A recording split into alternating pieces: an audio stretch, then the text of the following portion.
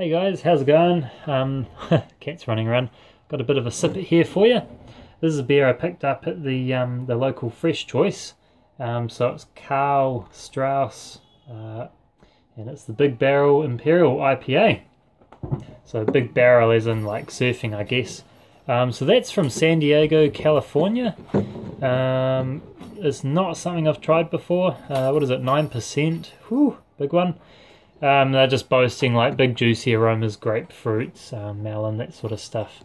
Um, and they mention that they use Nelson Sauvin, so it's pretty cool um, to see you know people overseas using our New Zealand hops. They love it, you know, and we love their hops, so it's import, import. It works well, doesn't it? There it is. There, lovely golden yellow.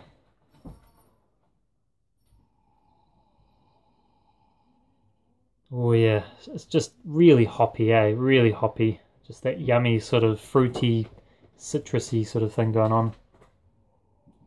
Mmm, cheers.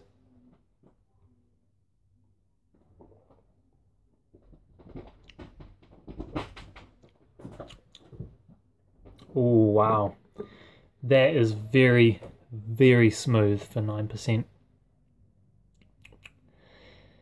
Wow, very nice, very hoppy. Yeah, definitely getting that citrusy thing, like the grapefruity kind of character. Not as intense as some um, Imperial IPAs or just IPAs that I've had.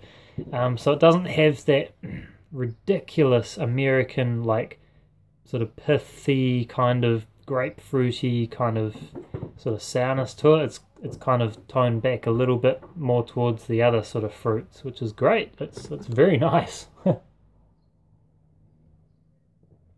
Trying to keep it short. Cheers, guys. Christmas is coming up. Have a good one. I'll see if I can do any more videos uh, before Christmas anyway, or maybe during. Who knows? Alright, cheers.